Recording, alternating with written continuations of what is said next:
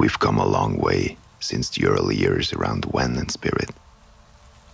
There is so much we've seen during the many hundreds of shows we've played all over the world and all the tours we've been part of. There are so many things, good and bad, we experienced as a band.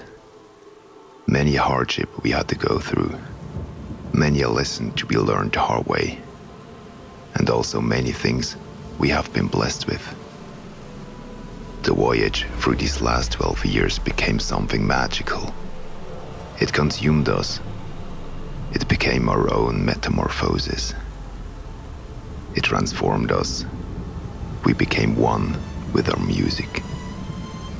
The experience of over a decade and hundreds of shows is coming together on Origins, our by far most elaborate and demanding production to date.